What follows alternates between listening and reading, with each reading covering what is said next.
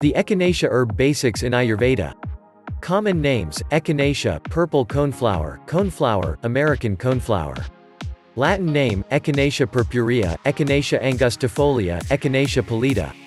Background. There are nine known species of Echinacea, all of which are native to North America. They were used by Native Americans of the Great Plains region as traditional medicines. Echinacea is used as a dietary supplement for the common cold and other infections, based on the idea that it might stimulate the immune system to more effectively fight infection. Echinacea preparations have been used topically, applied to the skin, for wounds and skin problems. The roots and above-ground parts of the Echinacea plant are used fresh or dried to make teas, squeezed, expressed juice, extracts, capsules and tablets, and preparations for external use. Several species of Echinacea, most commonly Echinacea purpurea or Echinacea angustifolia, may be included in dietary supplements. How much do we know? Many studies have been done on Echinacea and the common cold. Much less research has been done on the use of Echinacea for other health purposes. What have we learned? Taking Echinacea after you catch a cold has not been shown to shorten the time that you'll be sick. Taking echinacea while you're well may slightly reduce your chances of catching a cold. However, the evidence on this point isn't completely certain.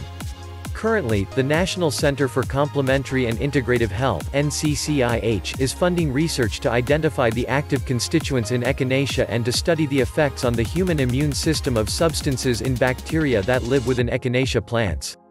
What do we know about safety? There are many different echinacea products. They may contain different species of plants or different parts of the plant, be manufactured in different ways, and have other ingredients in addition to echinacea. Most of these products have not been tested in people. For most people, short-term oral by mouth use of echinacea is probably safe, the safety of long-term use is uncertain.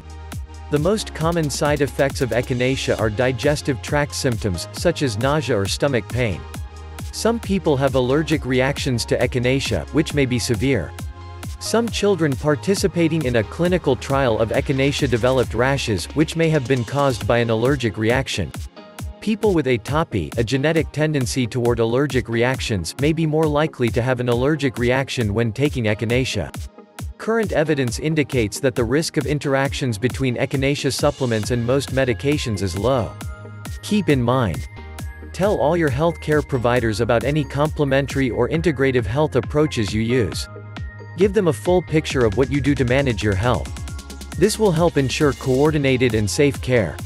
Thanks for watching the video. If you like this video then hit the like button below.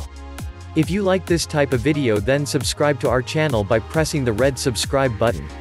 If you don't want to miss such videos then hit the bell icon. Thanks for watching.